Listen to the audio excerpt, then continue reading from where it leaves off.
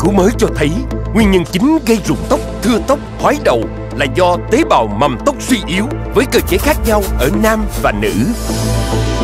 Giới thiệu Quick Hair từ thiên nhiên, công thức độc quyền, chuyên biệt riêng cho nam và riêng cho nữ, thúc đẩy tế bào mầm tóc phát triển, giúp giảm rụng, kích thích tóc mọc nhanh, chắc khỏe, dày mượt hơn sau 8 tuần sử dụng.